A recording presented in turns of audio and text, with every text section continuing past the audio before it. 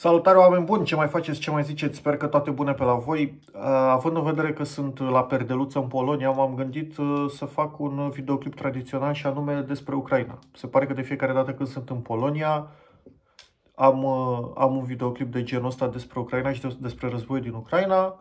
Deci haideți să păstrăm tradiția și să discutăm un pic despre războiul din Ucraina.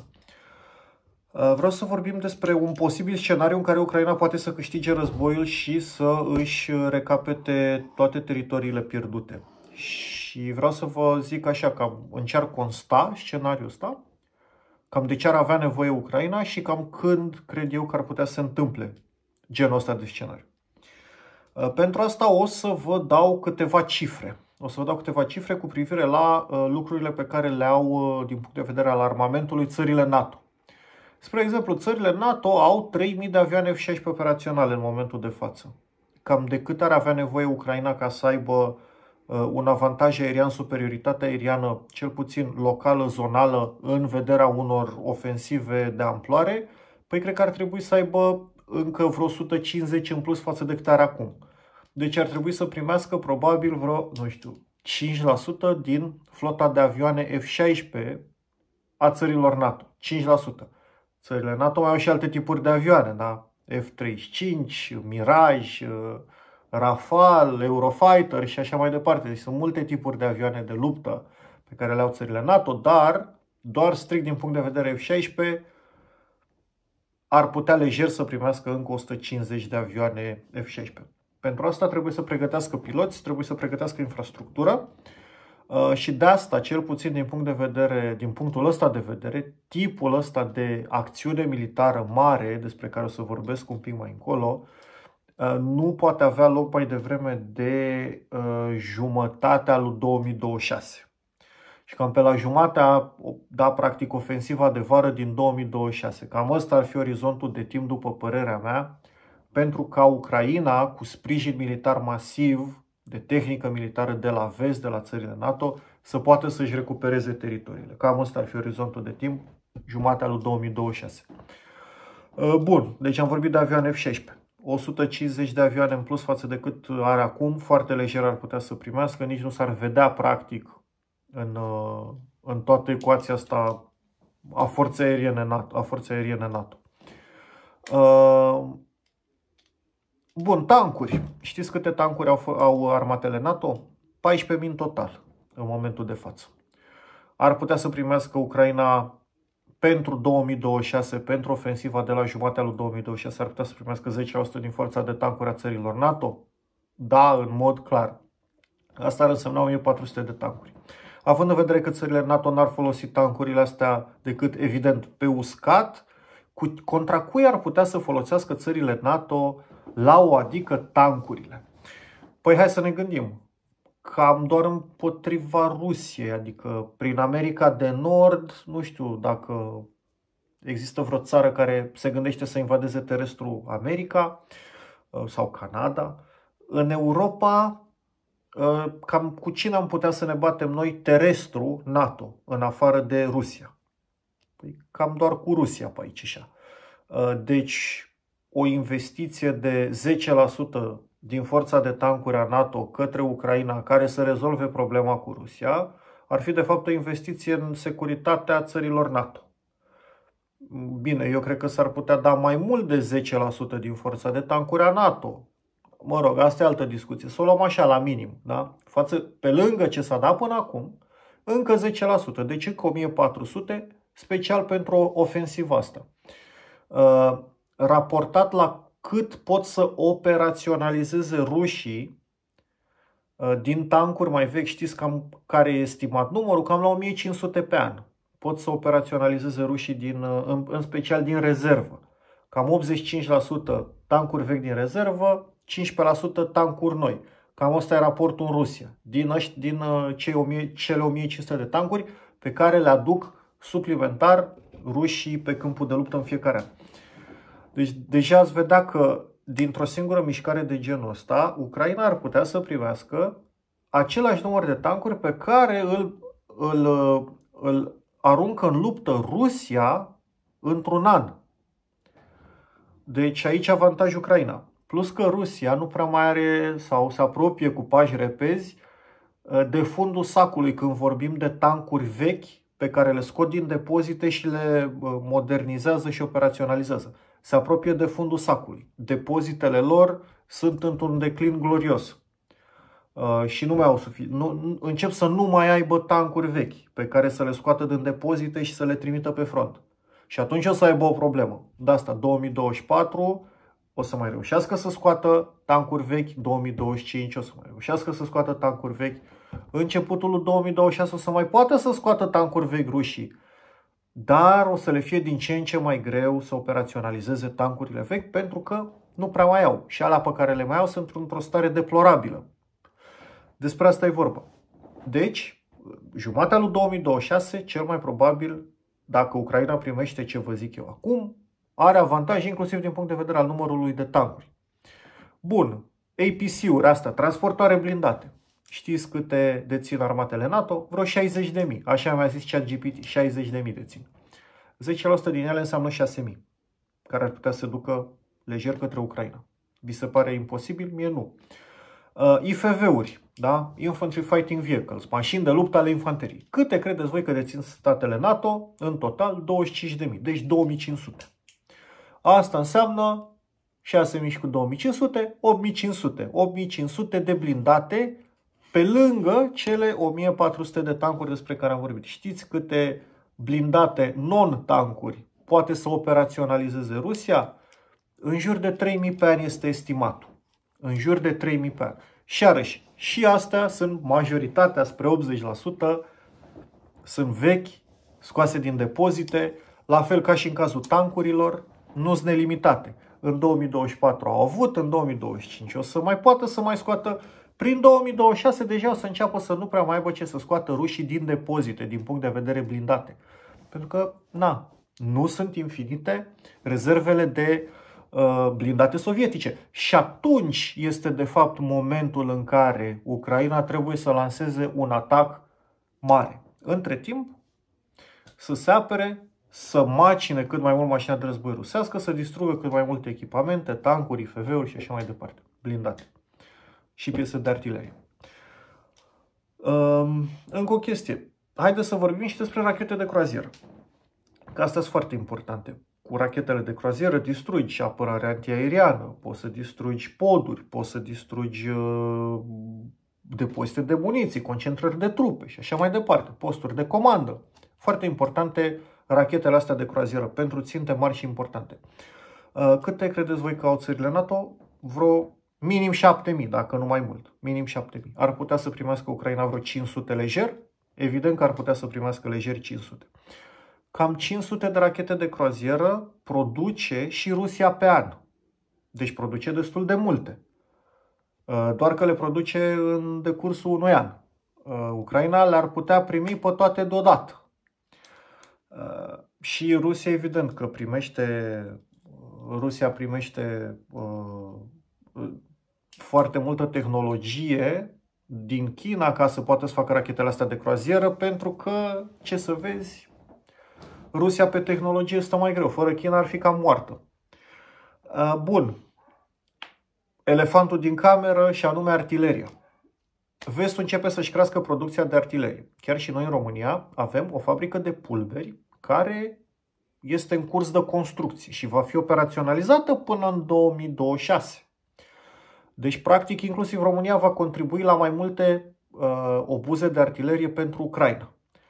Rusia, evident că nici ea nu stă degeaba și a mărit deja producția mult mai rapid decât au mărit-o vesticii uh, și produc în momentul de față rușii vreo 2 milioane de obuze de calibru uh, mare pe an. 2 milioane de obuze pe an. Uh, și mai produc vreo 500 de mii de rachete grad.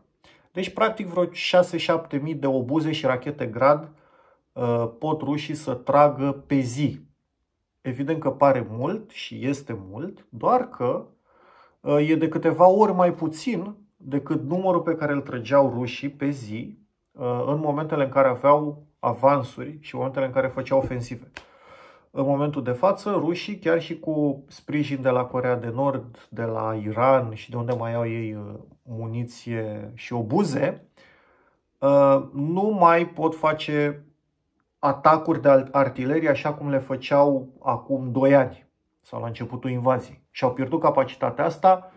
Obuzele din, din, din perioada sovietică le-au cam consumat deja. Bun, cam asta ar fi chestia. Din punct de vedere al obuzelor, Ucraina o să primească din ce în ce mai mult și Rusia se pare că s-a cam plafonat din punct de vedere al producției. Rusia se pare din diverse surse că nu prea poate să producă mult mai mult de aceste 2 milioane de obuze pe care le produce pe an, pentru că, uh, da, limitările uh, industriei rusești din momentul de față. Uh, ce trebuie să mai facă Ucraina? Trebuie să, în 2025 și 2026, trebuie să mai recruteze vreo 200.000 de soldați cam pe acolo, doar în forța asta care să se ducă și să, încearcă, să încerce străpungerea frontului și să recupereze teritoriile. Uh, eu cred că asta ar trebui să fie făcută uh, pe frontul de sud, cum s-a încercat și în 2023 și nu s-a reușit, să se ducă până la Mariupol, da? Frontul de sud până la Mariupol, să împartă frontul în două, Crimea pe o parte izolată și Donbassul pe partea cealaltă. Și în felul ăsta poate Ucraina să recupereze destul de repede, destul de lejer Crimea, pentru că o taie de Donbass, podul Kerch pot să-l dea jos ucrainienii și acum, dacă vor, când vor, doar că momentan nu vor. Dar în momentul în care au această, reușesc să se ajungă la Marea Azov, ceea ce ar însemna că ar trebui să poată să străpungă vreo 80 de kilometri frontul. Uh, chestie care nu mi se pare imposibilă, dacă au, după cum v-am zis, forța aviatică, rachetele de croazieră, uh, numărul de tancuri și de blindate suficient, și evident toate chestiile astea în armate cum ar trebui, uh, nu mi se pare imposibil să reușească să străpungă frontul rusesc din zona de sud și să ajungă la Mariupol. Care e marea problemă? Marea problemă este reprezentată de câmpurile minate uh, din zona respectivă. Uh, ce se întâmplă cu câmpurile minate din zona respectivă?